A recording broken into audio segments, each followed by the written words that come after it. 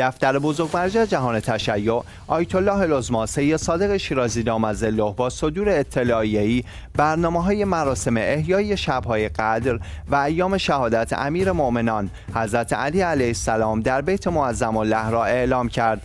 در این اطلاعیه آمده در شبهای 18 هم الا 22 رمضان العظیم 1444 هجری برابر با 20 الا 24 فروردین 1402 از ساعت 22 و 30 مراسم احیای شبهای قدر و ایام شهادت حضرت علی علیه السلام در بیت آیت الله العظما شیرازی دامزلو در شهر مقدس قوم خیابان انقلاب کوچه شش برگزار می گردد.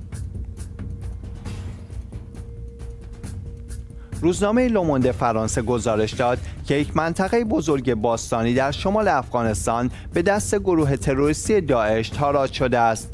در این گزارش از دیل برجین به عنوان بزرگترین منطقه باستانی یاد شده است که در چهل کیلومتری شمال غرب شهر مزار شریف در مرز شمالی افغانستان با تاجیکستان و ترکمنستان واقع شده است. و بین سالهای 2019 تا 2021 کندکاری شده و آثار باستانی آن غارت شده است.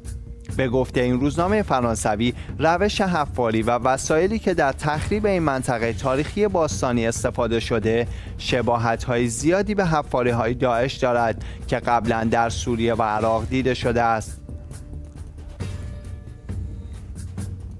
ساکنان منطقه در ایالت زانفاری نیجریه روز شنبه گفتند که افراد مسلح دست کم 80 نفر را که بیشتر آنها زنان و کودکان بودند رو بودند.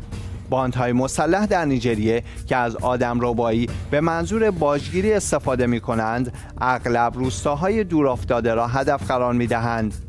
زانفار یکی از ایالتهایی است که بیشترین وقایع آدم ربایی در نیجریه را شاهد بوده است. خشونت های جمعی تنها یکی از چالش های امنیتی متعدد پیشروی بو رئیس جمهور کنونی نیجریه است که در انتخابات جنجالی ماه فوریه پیروز شد. نیجریه در حال حاضر با بحران مالی عمیق کمبود ارز داخلی و خارجی کمبود بنزین و ناامنی گسترده مواجه است. رسانه های خبری به نقل از منابع رسمی در بورکینافاسو اعلام کردند که 44 غیر نظامی روز شنبه در دو حمله تروریستی در شمال این کشور کشته شدند. بخشی از بورکینافاسو به ویژه منطقه ساحل که آربیندا در آن قرار دارد چند ماهی است که در محاصر گروه های تروریستی قرار دارد و ساکنان شهرک ها برای تأمین مواد غذایی با مشکل مواجه هستند.